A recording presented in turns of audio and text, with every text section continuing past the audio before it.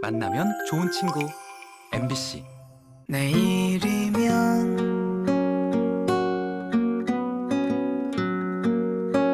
괜찮아질 거야.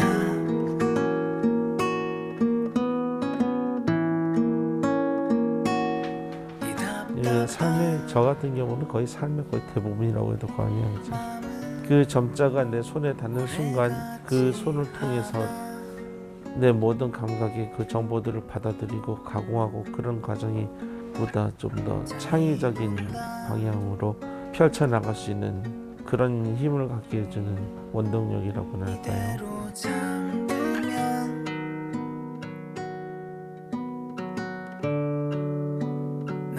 음, 횟수는 한 약 한 15년 정도 된 것 같아요.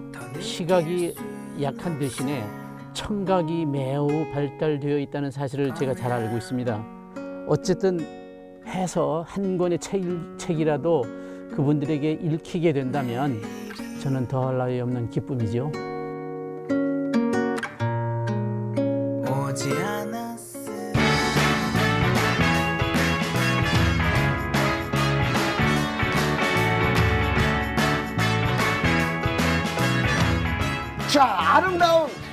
바닷가 앞에서 오늘 어떤 초대 손님을 모셔볼지 참 기대가 되는데 저는 네. 알것 같아요. 어떻게? 딱 보시면 아시잖아요. 이제 일단 그림이 이제 그림이. 어, 이거는 이제 작가님이 오신다는 거지. 맞아요. 네, 그럼 한번 모셔보도록 하겠습니다. 나와주세요. 안녕하세요. 안녕하세요. 네, 들어오세요. 예. 좀 당황하신 얼굴인데요. 자, 어, 본인이 작가십니까? 네. 어, 좀 어린데 맞아요? 맞아요. 아, 진짜로? 몰라요. 저는 완전 팬이에요. 아 그래요? 아 일단 본인 소개 부탁드립니다. 안녕하세요. 제주도에서 글 쓰고 그림 그리고 있는 전희수입니다. 죄송하지만 나이 좀 여쭤봐도 될까요? 음, 지금 만으로 14살이에요. 예, 14살이면 뭐 그려봤자 몇 장 그렸겠어요. 예. 그럼 경력에 대해서 어, 살짝 좀 말씀해 주실 수 있을까요? 음, 그런 거 얘기해 본 적이 없어서. 그러면은 우리 감독님이 밑에 한번 깔아봐 주세요. 어. 자, 우리 전희수 작가의 경력을 보여주세요.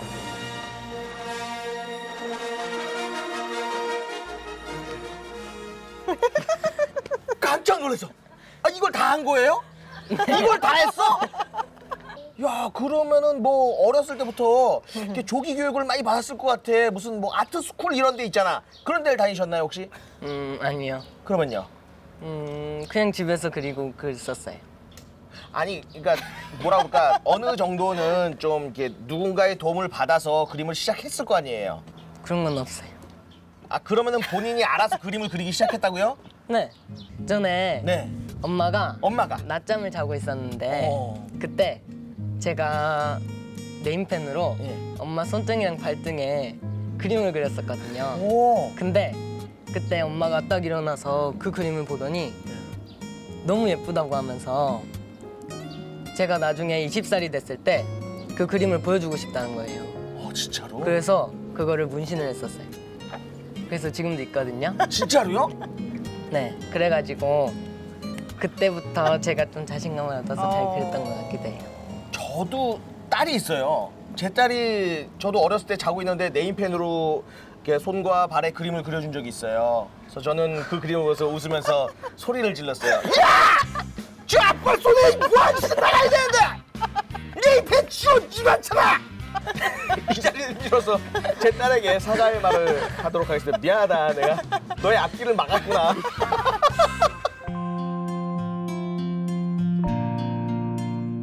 첫 번째 책이 꼬마가 타코라는 책이에요. A4 용지로 그 접어서 만드는 책 있죠. 네 장짜리. 그런 게 있어요? 있어요. 네. 그 접어서 나 옆에 그렸거든요. 음. 그래서 그때 네 장짜리 이야기를 만들었는데 예. 그때 그거 보고 너무 재밌다. 음. 그거를 한번 책으로 만들어 보면 어떠냐 해가지고 그때 제가 한번 책을 만들어 볼 생각을 했었던 것 같아요. 그게 몇 살 때예요? 여덟 살. 여덟 살 때 첫 책을 낸 거예요? 네. 이제는 뭐 작가님보다 선생님이라 부르고 싶어요. 선생님. 그때 크라우드 펀딩으로 책을 만들었다고 했- 들었어요. 어, 꼬마 거타코라는 책은 음. 처음에 아빠가 그 천 권을 일단 만들어줬어요. 네. 근데 천 권이 딱 오니까 생각보다 너무 많은 거예요. 아, 엄청나죠. 예. 그래서 그때 저희 집 베란다가 그냥 꽉 차서 그래서 그때 프리마켓에 가서 그 책을 팔기로 했었어요. 와, 그래서 잘 팔렸나요? 어, 잘 팔릴 때도 있었고 예. 또안 팔릴 때도 있었고 그럼 청고에서 몇권 남았어요? 그래서 다 팔았어요. 다 팔았어요. 그럼 팔 때 손님들이 사인해 주세요. 그럼 어떻게 해요? 쌤 해주죠. 오! 거기 있는 예. 거기에 악어가 나오잖아요. 네. 그래서 악어 얼굴을 그려줬어요. 야, 그러면 이제 본인이 내는 책이나 그림에 사인을 누가 해달라 그러면 그때마다 사인이 달라지는 거예요? 음, 네.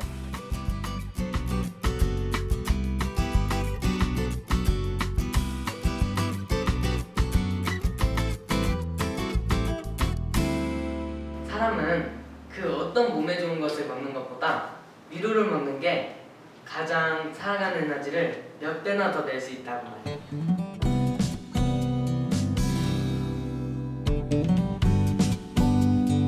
제가 한 달에 한 번씩 도슨트를 하고 있는데요. 음, 제가 쓴 글이나 또 제가 그린 그림을 같이 다른 사람이랑 같이 공유할 수도 있어서 좋고 또 이야기도 할 수 있어서 좋은 것 같아요.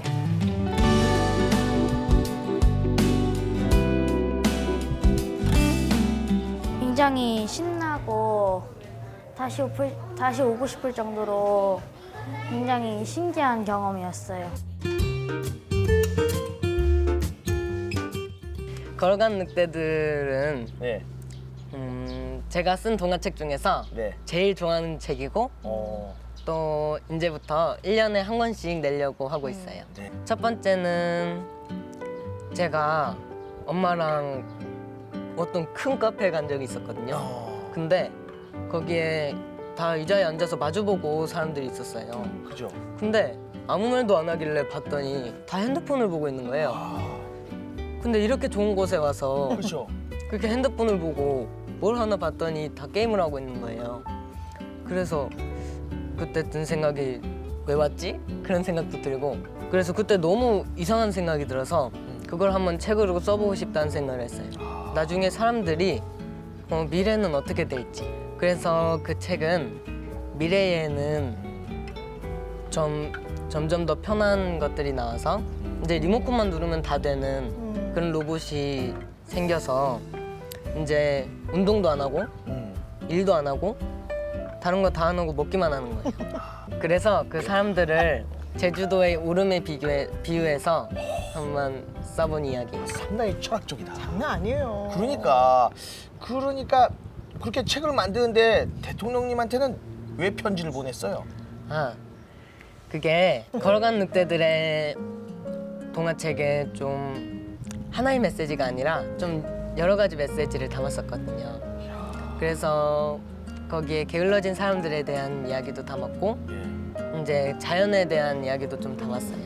자연이 우리에게 하, 하려고 하는 메시지를 좀 담았는데 그때 마침 제주도가 너무 개발한다고 나무를 마구 베고 해- 그런 걸 보고 좀 심각하게 느껴졌었어요. 그래서 제주도를 좀 지켜달라고 편지를 썼었어요.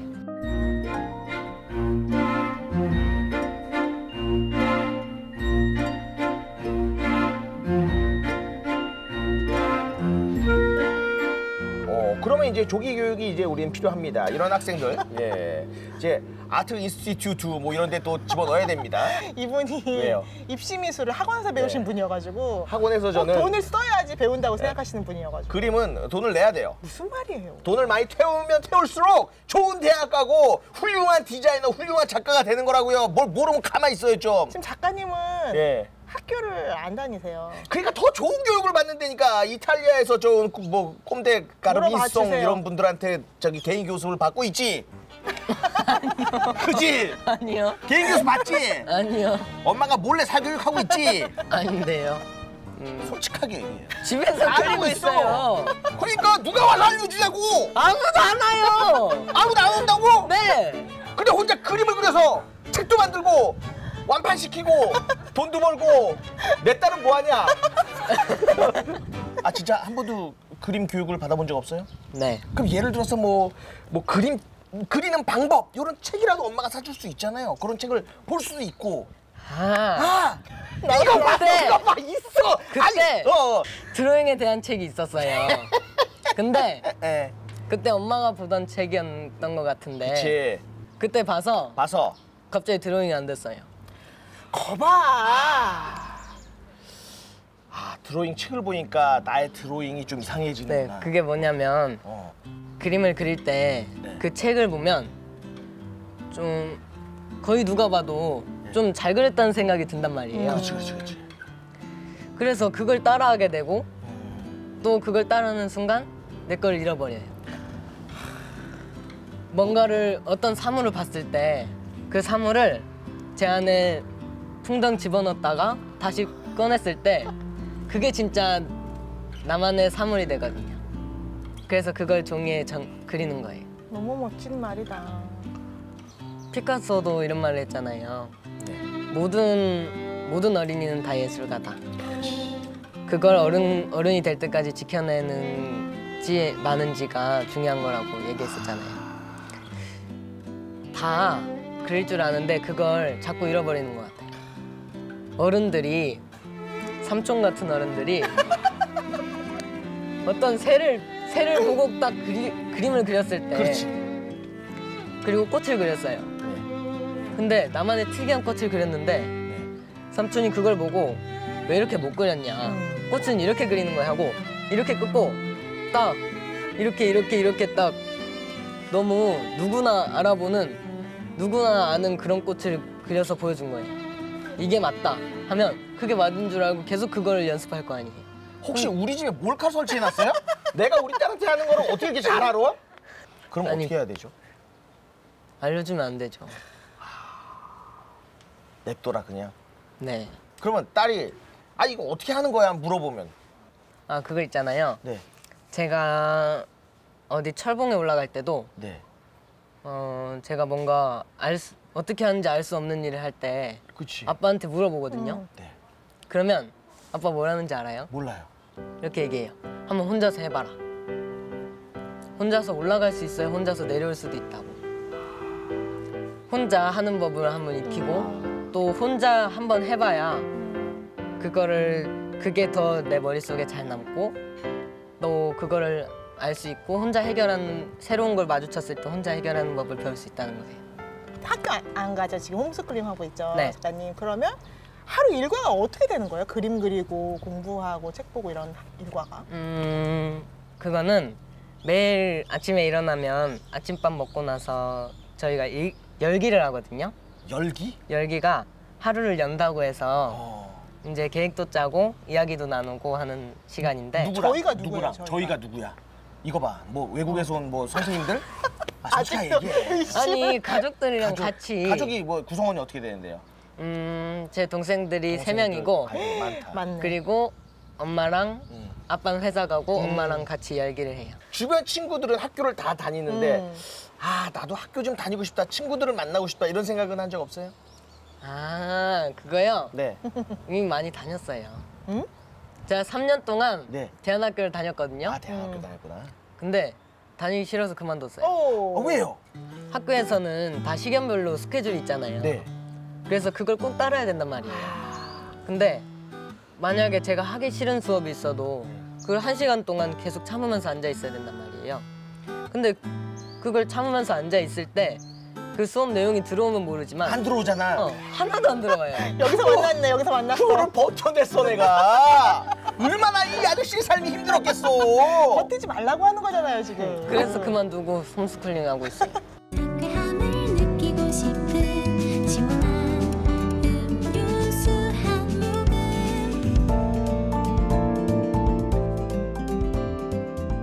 자두 주스예요. 네. 제가 왜 자두 주스를 준비했냐면 이제 그만 일하고 자두대 해서 자두 주스를 준비했나? 좀 주무세요 그러면.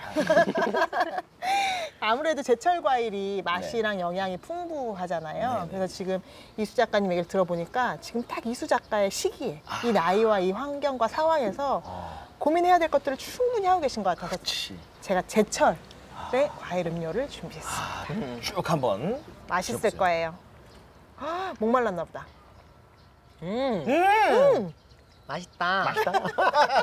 딱 음료수를 먹는 거 보면은 딱 아, 14살 맞아. 그러니까. 근데 얘기하는 거 보면은 어, 나보다 형 같아. 어, 너무너무 배우는 게 많죠. 근데 보면은 남동생도 머리를 되게 많이 기르고 있고 음. 본인도 머리를 많이 기르고 있어요. 저는 기르고 싶어도 나질 않아요. 이 머리를 이렇게 기르는 이유가 있어요? 전에 언제였는지는 잘 모르겠지만 음.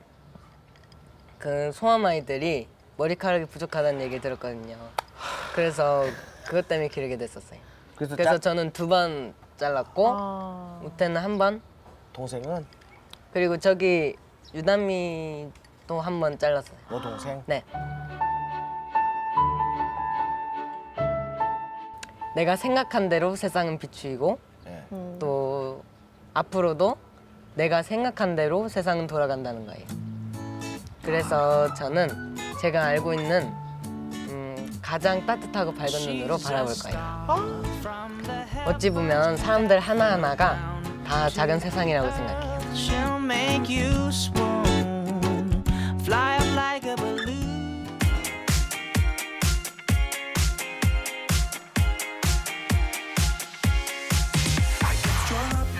자 오늘은 제주도의 정말 어마어마한 우리 아. 영화 감독님을 한번 아, 만나 뵙도록 하겠습니다. 일단 감독님 본인 소개 부탁드립니다. 네, 복지이상 감독 정진합니다. 야, 오, 꼭 보세요. 제가 살아가기 위해서는 활동 보조 서비스가 꼭 필요합니다. 근데 원래 공동도 곁에도 감독 있는데 네, 오늘 나- 나만 왔다. 어, 나머지 한 분은 어디 가셨어요? 아니 지금 일하고 있습니다. 일하고 있어요. 제가 듣기로는 두 분 중에서 잘생긴 분이 오셨다고 그러던데 맞나요? 아, 맞습니다. 집에서 삐져요. 집에서 삐져요.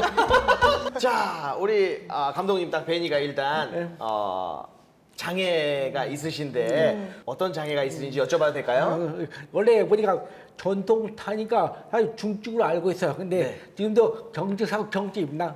어. 어, 그러니까 혜택도 하나 웃고 영화 만들었어요. 아. 그 정도 전동 휠체어를 탈 정도면 은 중증 아니신가요? 근데 보니까 근데 그, 나 처음 들때 장애 들그 박등급 할 때 네. 네. 너무 멀쩡했어. 이제 아프 체크하고 걷지 못했는데 너무 고생하니까 다뭐 일었으니까 걷는다. 이거 처음에 등급을 잘못 봤어. 그러니까. 또저 처음에 등급이 또 바뀌기 어려워. 꾸준히 가니까 바뀌기 어려우니까 계속 왔어. 그러면은 지금 장애를 얻으신 지 몇 년이 되신 거예요? 감독님? 2010년 10월 18일 날니까 12살이에요, 12살. 장애인 나도 12년 되셨구나. 12년. 어, 어떻게 됐든 간에 약간 좀 같은 장애인으로서 좀 높은 등급을 받아야지 좀 편하게 살 수 있지 않나요? 뭐 직원도 많을 거고 제가 알고 있기로는 음. 맞죠? 예, 근데 알지만 우리 정책이 일단 중증으로 돌아가요. 중증을 주 기업도 기업도 지원도 많이 되고. 그죠 그죠 그죠. 예, 나 같은 나이는 사, 사각지에 있는 거죠. 맞아. 그러니까 보기에는 중증인데 등급은 경제야. 그러니까 일자리도 가면 아니 왜 당신이 중증인데 경증 오거나 그러니까 취업이 안 돼. 이제 일어나서 한번 걸어보실게요.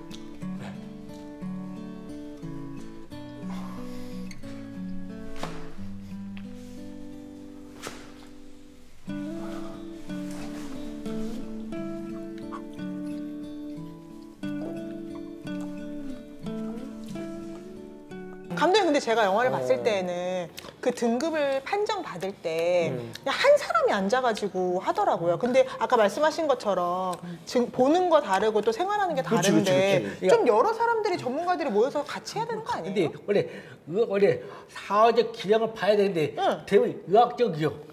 아뭐 에바일이나 뭐 산업치료나 뭐 그런 기만 보니까 사회 그 기여 하나 봐. 의학적 그 보니까 이렇게 나온. 아 제가 이제 경증이 어느 정도고 중증이 어느 정도인지는 잘 모르겠으나 제가 지금 감독님을 뵀을 때는 경증은 아닌 것 같거든요. 다시 어떻게 심사 받는 그런 방법이 없을까요? 근데 의식을 원래 대부분 장애에서는 한 번 받는 장애 고치가 어려워.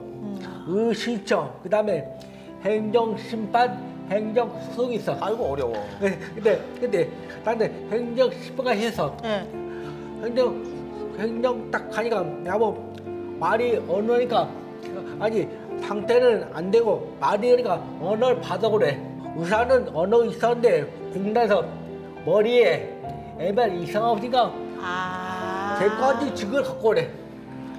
그러니까 아들아 수학원에 권호 가 권호 기관에 가서 당신은 말도 언어니까 소송은 안 된다고. 아니 너무 말이 안 되는 그것 같아. 아니 그러니까 일반적으로 이제 휠체어를 안 타고 음. 다니는 일반 저기 그 비장애인들도 그렇게 소송하라면 못해. 음. 그리고 답답하고 여기 가면 저기 가라 그러고 저기 가면 또 저쪽 가서 뭐 하라 그러고. 아니, 제 얘기하면 복잡하잖아요. 예. 또또 장콜이 안 되니까 친구 저랑 같이 가자니까 그때 장콜이 그래서 장콜 저희만의 이제 전문 용어가? 필요한데 장애인 콜택시. 아 장애인 콜택시. 네, 근데 보니까 영화에서도 되게 중요한 부분 중에 하나가 결국 장애인 콜택시를 이용할 수 있는 등급과 이용할 수 없는 등급이 너무 생활이 달라지는 거예요. 그거는 장애인들이면 다 이용할 수 있어야죠. 아니, 근데 이 중증만 그게 뭐야? 또 그- 근데 근데 요즘에 밖에서 경증도 탈되다. 아. 근데 의사 진단서 받아라. 근데 의사들이 쉽게 안 써줘. 아, 나도 일주일 내내 촬영하고 가고 소식 써 나중에 그때 그때 봤어 내가. 어? 장애 등급을 잘못 쓰신 것 같은데요? 아, 저 5급 맞습니다.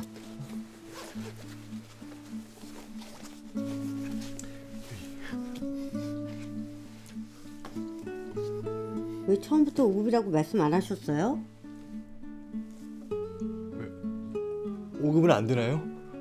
더 잘할 수 있습니다. 그건 본인 생각이고요.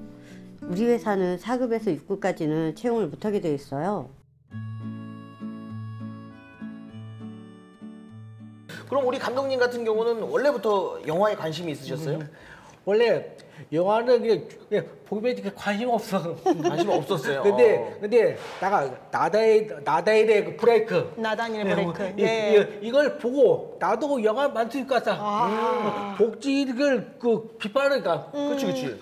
나 이거 현지 공부서 아 나도 그럼 만든다 했는데 그때 그 영화 그 워크샵 그, 그 장애 워크샵이라는 게 있어.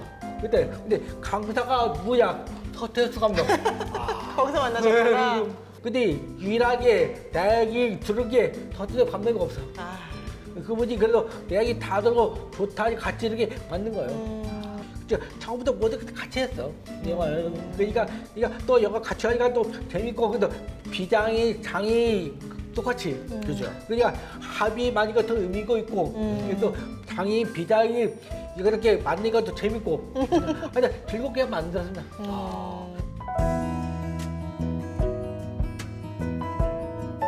장이라는 세계가 난 몰랐는데 좋은 생각 아니야. 우리 비장이 똑같아. 여기에도 권력주도 있고 착취하는 사람 있고 당하는 사람 있고 예, 그런 사람 있고 또그 정보 정보 같아. 맞아. 정보 근데 단체 보면 단체들이 정보가 많아. 이걸 권력으로 해. 음. 그것도 많아요. 그냥. 제가 영화를 봤을 때 사실은 그 나쁜 형 있잖아요. 경호. 어. 네, 그 형을 보면서 아니 브로커 이런 표현 써도 될지 모르겠지만 너무 브로커 아닌가 이런 생각이 들었거든요. 근데- 실제 그런 사람들이 있나요? 근데 근데 근데 나들이 이런 말로 하면서 단체장들 불쌍하지 마. 예. 아, 솔직하게 솔직하게 말씀해 주시길 나요. 예. 단체장들이 이 정보를 자기 아는 사람, 음. 아는 공유하는 거야, 아는 사람. 그러니까 자기들은 먹고 도는 거야. 그러니까 우리가 아무것도 모르는 그 단체 참모를 지면은 모르는 사람. 그러니까 항상 비슷한 거죠. 그러니까 문제 많죠. 고 선생님, 웬만하면 다음부터는 근무 시간 지키게 해주세요. 형님, 예. 내가 여기 취직을 몇 명이나 시켰는데 지금 나 가르치시는 거예요? 아, 아닙니다. 우리 센터 최우수 고객이신데 죄송합니다. 요즘 이게 왜 이렇게 이슈가 될까요? 그죠. 근데 4월 때부터 봐도 이동권부터 문제가 막 이동권, 그죠, 예. 근데 서울에 이동권 때 많이 문제가 왔어요. 그거는 그러면 어떻게 보세요? 지금 전장현에서 이렇게 시위하고 계시잖아요, 장기간. 그죠. 그, 그게 이제 어떤 분들은 당연한 권리다. 그렇게 해야 된다. 왜냐면 장애인들의 이야기를 너무 나라에서 안 들어주니까 저럴만도 하다라고 얘기하는 사람이 있는 반면에 또 어떤 사람들은 저렇게까지 해서 왜 본인들이 불편한 거를 일반 시민들까지 다 불편하게 만들어야 되느냐. 근데 나는 지금도 싸우고 있고 싸우고 싸웠고 지금도 싸우고 계속 이러려 싸워야 한다. 왜? 근데 우리 20년간 싸워서 근데 근데 서울시가는 한 시간 추리에 늘어났다가 말이 안 돼요. 우리 20년간 싸우면서 겨우겨우 얼굴인데 자기 주 한 시간 늘었다가 그거 불만 자체가 문제죠. 그래서 이동권이 뭐냐 삶이야 삶. 나도 만약에 나가지 않으면 영화를 어떻게 만들어 집에 그렇지 그렇지 나 나는 전동걸 딱 빌려부터 계속 돌았어 여기 가다 도와라 도와서 같은 도와니가 이렇게 사람 만들 만들 사람 알면서 정부도 알고 이런 정부도 그렇게 영화 만들었지 그러니까 그러니까 움직여야 돼 그죠. 움직여야 돼. 근데 감독님 휠체어가 있어도 못 움직이는 경우가 있잖아요. 맞죠 계단 특히 계단 같은 어, 경우는 휠체어로. 못 올라가. 어, 서울에서 지하에서 인터뷰를 했어. 계단이나 나도 그 이렇게 겨우겨우 내렸는데 기자분이 아 계단이 이렇게 어렵게 났다. 근데 이런 생각 하나가 중요해. 나를 초청하는데 어디 영화제는 어디 단당히 못 들어가니까 뭐 기계를 옮기고 그러니까 내가 함으로써 아 저 사람이 장애인이 있구나. 그러니까 아 불편한 그런 생각 한 가지만 있으면 된다. 근데 이런 생각이 하나가 어렵지 두 가지는 어렵까 한 가지가 어렵지 1cm만 사람이 커. 1cm하고 1cm 차이가 커요. 그죠. 그, 바뀌니까. 그, 그 정도 알면 돼요. 처음에는 나가 말 못한다고 욕도 많이 들고 아니 너가 뭔데 이- 있는 아이들 너가 뭔데 영화를 말 못하는 게뭐 서태 수가 수가도 맞는다 이런 것도 많은데 이걸 이겨내고 이겨내니까 이렇게 좋은 영화가 된 것 같아 네. 아, 박수 이럴 때 박수 한번 쳐야 돼. 아, 않습니다. 장애 등급제 폐지가 됐다는 건 어떤 내용인가요? 장애 등급증 결코 폐지가 아닙니다. 말만 바꾸지 심한 장애는 중증이고 심한 경증이야. 근데 1급에서 3급까지는 심한 장애, 4급에서 6급 심한 장애. 그럼 말만 바꾼 거네. 그게 뭐야? 그게 근데 뭐야? 그 우리 우리 사람도 다 틀려. 이런 사람 저런 사람 근데 우리 장애인이 250발 이것을 6급으로 맞춰게 말해요. 그죠? 근데 아니 장애인이 260kg도 아니고 6등 안에 맞추는 게 말이 안 되는 거예요. 그렇죠. 이거 등급 자체가 문제가요. 아, 이거 참 우리가 여기서 해결하기는 뭐 불가능한 얘기고 아유, 앞으로. 차츰차츰 좋아질 수밖에 없을 것 같아요. 제가 생각할 때는 근데- 뭐한 번에 다 뒤집기는 그렇고 근데 그죠? 약간 시력을 좋아지다. 아 좋아지고 있어요. 예. 나도 장골 따 있고 활보 있으니까. 음. 그리고 또 이제 서서히 장애인에 대한 대우가 좋아지는 거죠. 또 감독님 같은 분들이 나와서 소리를 크게 내주시고 영화까지 만들어 주시니까 앞으로도 영화 계획이 있으세요? 계속? 맞아. 궁금해요. 일단은 네 알지만 일단 내가 복지도 영화를 만들자. 네. 근데 장애 콘셉트 물론 다 알고 활도 알고 근데 피자들이 장애를 너무 몰라. 이 내용을 하나 둘씩 찾아서 영화 만드는 게나 꿈입니다. 커피 한잔 할래요 두 입술 꼭 깨물고 용기 낸 그만 자, 우리 감독님을 위해서 준비한 음료는 어떤 겁니까? 오늘은 공정무역 커피를 준비해봤어요. 음. 이게 르완다 쿠카무 허니 라는 원두인데요. 음. 이게 협동조합에서 여러 명의 368명의 농부들이 같이 만든 커피래요. 커피요. 커피예요. 근데 원래는 대기업에 납품하려고 만들다 음. 보니까 빚도 많고 이자 내느라고 이제 급급했는데 공정무역 방식으로 이제 재배를 하다 보니까 음. 이제 그런 어려움에서 벗어날 수 있었다라고 해서 사실은 저희가 장애 비장애 차별 같은 것들을 논할 때 공정하지 않잖아요 저희 음. 세상이 그래서 그런 공정한 세상의 상징을 가지고 제가 공정무역 커피를 준비했는데 혹시 드실 수 있으실까요? 시원하게. 왜냐면 말씀을 많이 하셔가지고. 어, 또 긴장하셔서 또 힘드실 것 같아요. 네, 감사합니다. 자, 그럼 마지막으로 우리 감독님이 딱 바라보는 세상이란 어떤 것 같아요? 네, 근데- 감독님이 바라보는 세상은 내가 눈이 좋아서 근데 세상은요 질질 내고 보고 싶어 근데 너무 거, 거짓이 많아 거짓이? 그러니까 거짓을 벌고 내고 보고 있는 거거든 음. 근데 내고 맞으니까 영화가 스스로 없으니까 이렇게 되지 않나 맞아요. 맞아요. 15 and 30, I ain't in no hurry.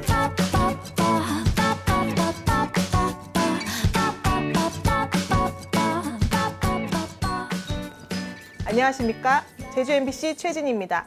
최근 톡톡 카페 3가 너튜브 채널에서 선풍적인 반응을 불러일으키고 있다고 하는데요. 윤석주 기자에게 이야기 들어보겠습니다. 윤석주 기자. 네 그렇습니다. 지금 현재 너튜브에서 선풍적인 인기를 끌고 있는 톡톡 카페 제가 직접 한번 검색해 보도록 하겠습니다. 톡톡 카페를 너튜브에서 검색을 하면은 저번 주에 올린 동영상이 무려 조회수가 15회. 여러분 관심 좀 가져주세요. 너튜브에서도 볼 수 있어요. 톡톡 카페. 조태꾸알. 아 최스타님. 네. 조태꾸알이 뭔지 아세요? 알죠? 뭐예요? 좋아요, 음. 꾹, 어. 댓글, 알림, 설정. 그렇지. 맞아요? 조, 좋아요, 댓글, 조태 구, 구, 구독. 구독, 구독, 구독. 그치 구독이 맞아. 안 되겠다 우리. 큰일 났어 우리 진짜. 어떻게 이제 나이 든거 가서- 티내지 마. 죄송해요. 이거 네. 글로 배워가지고. 자, 근데 저희가 여기 있는 이유가 아, 이번 초대 손님은 뭔가 이 뉴스랑 관련이 있으신 분 같아요. 멋있을 것 같아. 멋있을 기대돼요. 것 같아요. 예. 좋습니다. 오늘의 초대 손님 어디 계세요? 우! 야, 좋습니다.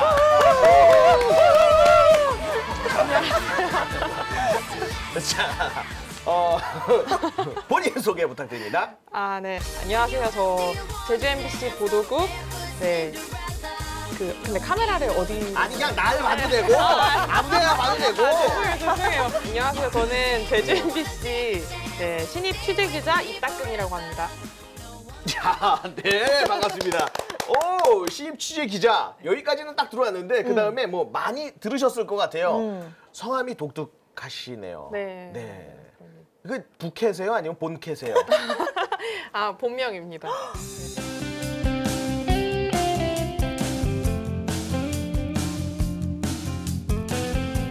MBC 뉴스, MBC 뉴스, MBC 뉴스 이따금입니다. 이따금입니다. 부모님이 무슨 의미로 이름을 그렇게 지어 주셨나요? 그 부모님이 뭐 할 때 네. 따끔하게 하라고. 진짜로? 네, 그런 의미라고. 그러면은 의사가 되셨어야죠. 따끔. 아, 따끔? 그 간호사분들도 저한테 농담 되게 많이 하세요. 뭐라고 농담해요? 따끔할 겁니다. 한 다음 웃어요. 따끔할 겁니다. 하면서 아! 네, 웃어요. 치과 의사가 됐어야 돼. 이 따끔이니까. 오늘 좀 잘안 아, 풀리네. 예. 네, 아, 죄송합니다. 죄송한데 네. 그 계속 저희가 죄송해져요? 아, 너무 궁금해. 네, 형제분들 이름을 좀 들어볼 수 있을까요? 아, 여동생이 정유리고 뭐야? 막내가 정환인데 다 정자 돌림. 뭐야 재미 하나도 없잖아요. 왜 본인만 아, 네. 이름이 좀 독특한 이름을 음. 지어주셨을까요? 제가 아마 큰 딸이라서 아빠가 뭐 고등학교 때부터 자기는 딸을 낳으면은 따끔이라고 짓겠다 이렇게 친구들한테 얘기를 하고 다니셨대요. 정확히는 얘기 안 해주시고 그냥 뭐 그렇게 살아라. 진짜로? 네 바꾸지도 못하게 하시고. 개명하고 싶어하고 투쟁하신 적 없어요? 그쵸 고등학교 때 많이 바꾸고 싶어 했는데 안 된다고 하더라고요. 자기가 이제 눈에 흙이 들어가기 전까지. 근데 약간 받아들이신 게 맞는 게 저희가 맞아요. 이제 기자님의 이메일 주소를 이제 봤는데 아우치더라고요. 그래가지고 아, 이제는 어. 받아들이셨구나. 좀 부담스럽긴 했던 것 같아요. 학교다 보니까 네. 뭐 항상 이렇게 첫날 선생님이 뭐 출석 부르고 이름 부를 때도 특이한 이름 보고 한 번 더 부르잖아요. 그런 뭐 시킬 때도 발표 같은 거 시킬 때 할 사람 없으면 특이한 이름 보고 시키고 맞아. 이런 게 좀 싫었죠. 부담스럽고. 왜 저래 또 포전 너무 아니 미팅을 나갔는데 아 그럴 때는 제가 가명을 씁니다. 너무 부담스러울 때는 계셨어요? 네, 가명 제가- 쓰는 거? 가명 못 네. 쓰세요. 어, 뭐, 가명이 뭐- 뭐예요? 예, 부캐가 뭐예요? 이게 좀 제가 밝히고 싶지 않은데 아니 약간 밝혀야 뭐- 돼. 여기서는 안 밝히면 안 끝나. 우리는 끝까지 가요. 뭐 미나, 뭐 연수 이런 여, 이제 좀 네, 아, 하고 예쁜 이름들, 네. 예쁜 이름들 어. 그런 거를 좀 쓰고. 어, 죄송한데 혹시 네네. 아이를 낳으면 네. 어떤 이름을 아 이거는 근데 제가 좀 생각해 본 게 있는데 그쵸? 제가 따끔이란 이름으로 너무 좀 피곤하게 살다 보니까 네. 그치. 자식은 좀 편안했으면 좋겠는 거예요. 그래서 편안히 편안히 그 아빠의 그 딸이야. 역시 이게 뭐야? 나면은 무슨 뭐 이편안이면 이편안 뭐 아니 그거는 상호명이잖아. 이게 편안하게 살라고 좀 전 따끔한 게 너무 부담스럽고 싫거든요. 그래서 너무 재밌네. 네. 어린 시절에도 놀림을 많이 받고 좀 상처도 있었을 것 같은데 이제 어떻게든 간에 내 이름이고 음, 어, 아빠가 눈에 흙이 들어가기 전까지 못 바꾼다 그랬으니까 이제 내가 어떻게 받아들여야 되잖아요. 네. 그- 그런 뭐 갇힌 데서는 항상 뭐 그 안에서 주목받고 뭐 혼날 때 좀 부담스럽고 막 이런 거였는데 네. 좀 자유스러운 세상으로 가니까 음. 대학을 가고 이러니까 그렇게 막 제가 이름 가지고 눈에 띌 일이 없달까 좀 그렇게 된 거예요. 그러니까 좀 편안해진 거죠. 음. 제가 또 자유로운 것들을 하면서 아 내가 그러니까 세상이 넓구나 제주도를 벗어나서 서울에 가서 세상이 넓고 어. 나는 막 그렇게 눈에 띄는 애가 먼지다, 아니구나 그냥. 예, 그거를 봐- 알게 아, 되니까 뭐 그렇게 다행이에요. 부담스럽지 않게 된 거죠 아, 이따금이라는 이름을 갖고 있으면서 조금 상처받는 일도 있었겠지만 아 솔직히 도움 받는 일도 있었을 것 같아. 내가 이름이 좀 독특해서 좋았다 이런 것도 있을 것 같아. 이거 오늘 불러주신 것도 저희 국장님이 그러셨거든요. 얘가 잘해서가 아니라 이름이 특이해서 부르는 거래 이러면서 농담하셔가지고 아니 진담이에요. 그렇잖아요. 제가 뭐 아직 뭣도 없는데 아. 그래도 이름이 특이해서 이렇게 뭔가 화제가 될 수 있고 기자는 또 제보 같은 것도 중요하거든요. 그쵸 그쵸 그쵸. 기억을 해야 제가 그쵸, 네. 그쵸. 뭔일 있으면은 되는 거 누구한테? 그쵸, 그쵸, 그쵸. 아 이따금이 있었지. 그렇지 그렇지 아우치 MBC로 바로 아우치 보내지. MBC. 아우치 MBC. 아우치 MBC. 네. 예. 그런 점에서 좀 앞으로 장점이 되지 않을까. 아 그럼 육지에서도 기자 생활을 하신 거예요? 기자 생활은 잠깐 했어요. 여기 오기 전에. 아. 네. 그럼 그 전에 원래는 뭐 하시던 분이세요? 원래는 대학 졸업하고 이것저것 많이 했는데 저는 콘서트 있잖아요. 콘서트. 네, 그런 거를 기획하는 공연 작가 일들도 했었고. 어울려.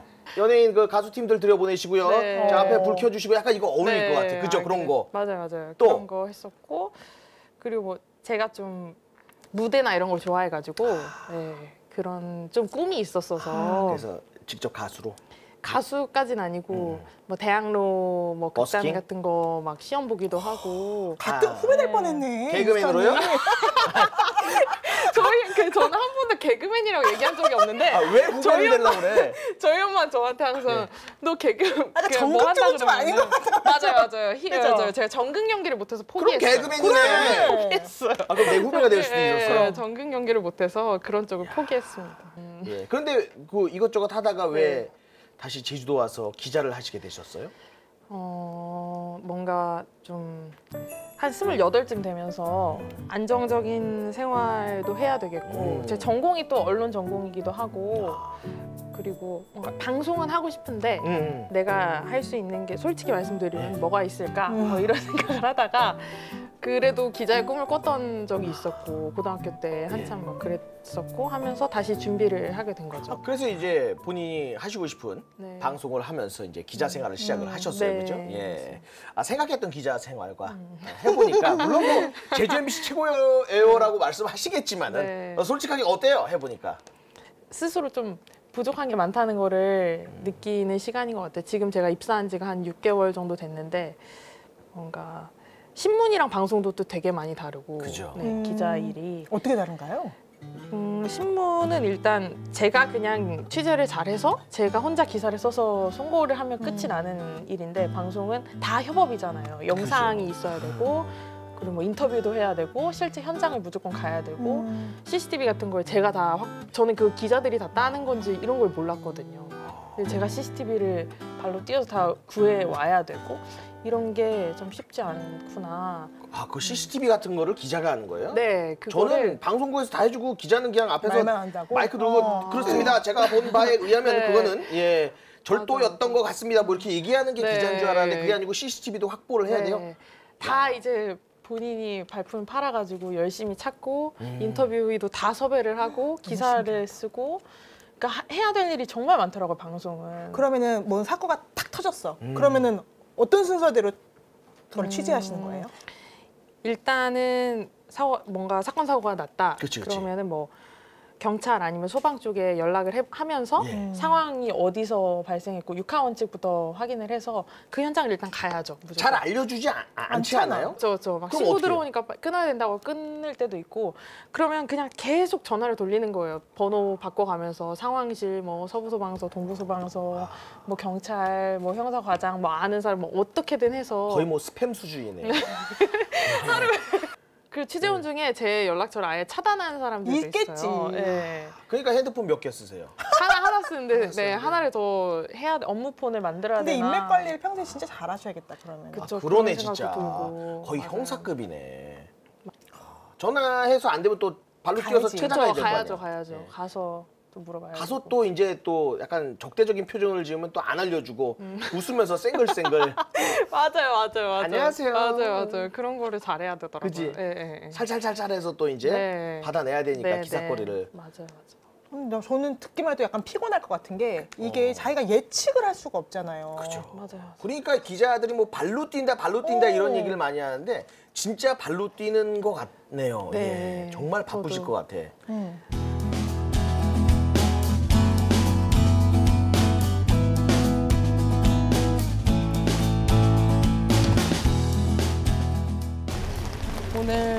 제가 한 8시 회사에서 출발을 했으니까 한 7시 한 40분 이쯤에 네, 회사로 가서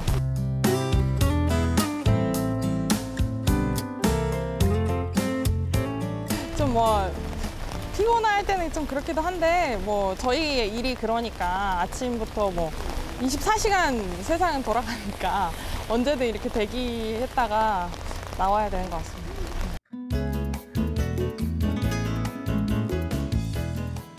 제가 좀 요새 놀림 받는 게 있는데 돌고래 전문 기자라고.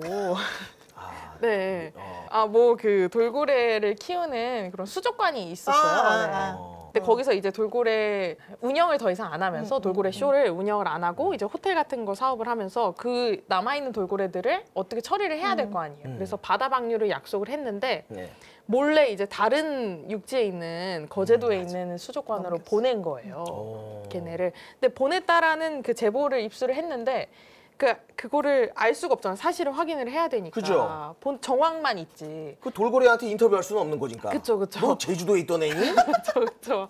그러니까 예. 거기에 제가 거제도를 가볼 수도 없고. 그렇지. 퍼시픽 리솜의 핵심 간부인 고 씨는 지난달 24일 제주항에서 큰 돌고래인 태지와 아랑이를 불법 반출할 때 화물차에 타고 있었던 것으로 CCTV 분석 결과 확인됐습니다.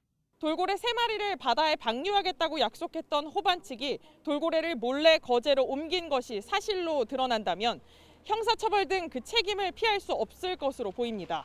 MBC 뉴스 이따금입니다. 아니 근데 지금 약간 내부에 제보가 하나 있긴 있었어요. 어, 내부에 제보가 네. 뭐가 있어요? 아무도 없는 편집실 9번 방에 자꾸 들어가 있대요. 이따금 기자님. 음. 편집실 9번방. 음. 이거는 뭐 약간 좀 무서운 영화 같은 느낌?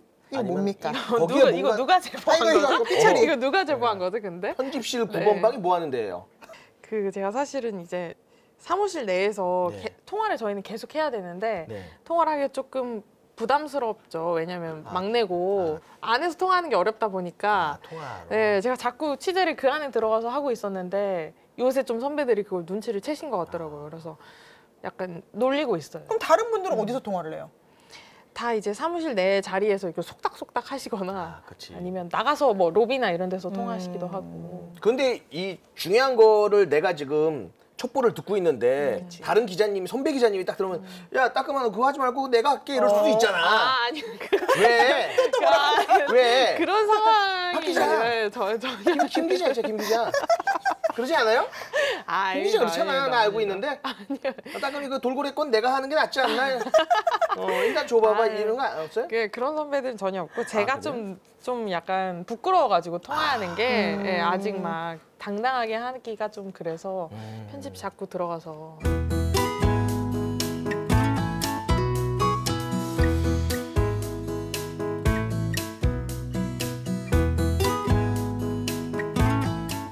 어떻게 보면 시민들은 좀 기자를 어렵게 생각하는 경우가 많은 것 같아요.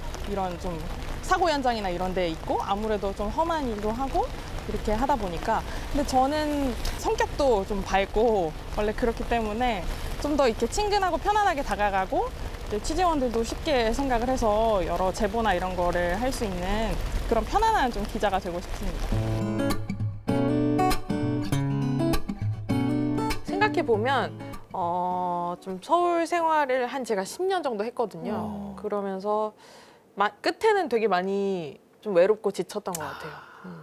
진짜 힘들 때, 진짜 힘들어서 막 아 이거 도저히 못 살겠다. 그럴 때 제가 가끔 일하다가 쉬고 싶을 때 제주도로 오더라고요. 고향을 찾게 되더라고요. 그렇죠, 음. 와서 바다 한번 보고 바람 쐬고 올라가고 그러다가 이제 제주 MBC가 공고가 뜨니까 눈에 들어오는 거죠. 너무 잘 됐다. 그죠.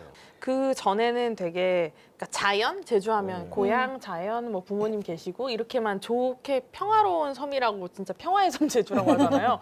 그렇게만 생각을 했는데 기자로 오니까 기자 회견이나 집회나 뭐 갈등이 되게 많은 섬이에요 제주가. 네 하루에도 제가 체크하는 집회 신고만 해도 여러 개고 그러니까 좁은 섬인데 그런 것도 많고 또 언론사도 진짜 많아요. 어떻게 생각해 보면 그 지역 주민들의 어떤 시민 의식이나 그 수준이 그만큼 또 높다 높고 좀 진짜 좋은 도시가 아닌가 음. 그런 생각도 들고 좀 달리 보이는 것 같아요. 그러면. 커피 한잔 할래요? 커피 한잔 할래요? 두 입술 꼭 깨물고 용기 낸 그만. 아, 자, 오늘 또 우리 최스타님이 우리 이따금 기자님을 위해서 멋진 음료수를 준비했어요. 네. 이 음료수는 무엇인가요? 이 커피는 Spring Vibe 봄의 노래라는 커피예요. 너무 멋있죠. 좋다. 어. 네, 이 커피는 사실은 blend된 두 가지 원두가 이제 섞여 있는 커피인데요. 하나는 이제 에티오피아 게이샤라고 음. 진짜 고급스럽고 비싸고 향이 좋은 커피예요. 아. 네, 그리고 또 하나가 브라질 프리미어 원두라고 하는 게 섞여 있는데요. 오. 이 에티오피아 게이샤 원두가 톡 쏘는 산미가 있는 걸로 유명해서 왜 제가 이거 골랐는지 아, 아시겠죠? 따끔하네. 아이, 그럼요. 커피 중에 가장 따끔한 커피네. 예, 따끔 아, 커피. 이렇게. 예, 그걸 따끔한 커피를 이따금 기자에게 또 드립니다. 한번 드셔보세요. 네, 감사합니다. 네. 저 산미 있는 커피를 좋아해가지고 아, 역시 성격대로 간다니까 그러니까. 입맛도. 음. 자, 마지막으로 우리 이따금 기자가 바라보는 세상 어떻게 바라봐야 될까요? 아, 세상이요. 세상을. 그 그래도 기자가 됐으니까 음. 좀 기자의 시선에서 얘기를 하면 현장에서 뭐 집회 시위 집회를 가든 아니면 뭐 도청에 뭐 회의 같은 거를 가든 기자한테 있는 특권이 질문을 할 수 있는 거라고 생각을 하거든요. 질문. 제가 이제 뭐 사건 사고 나서 경찰한테 전화를 해요. 그 전화를 하면서 MBC 이따금 기자입니다라고 얘기했기 때문에 그분이 저한테 대답을 해주는 거지. 음. 사실 뭐 그냥 이따금입니다라고 하면 대답을 해줄 이유가 없거든요. 그럼 뭐 노동자분들이 막 시위를 하고 있어요. 근데 제가 다가가서 물어봤을 때 대답을 해주는 건 기자이기 때문이잖아요. 그래서 물을 수 있는 것이 굉장한 기자만의 특권이 아닌가. 기자가 가지는 하나가 있다면 그거라고 생각을 해서 그렇다면 그 잘 물을 수 있는 힘이 없는 사람들을 위해서 소수나 약자가 되겠죠 상대적으로 그런 분들을 위해서 대신 물어주고 어, 취재를 하고 그, 그래야 되는 게 그런 시선으로 세상을 바라보는 게 기자의 일이라는 생각을 스스로는 하고 있습니다.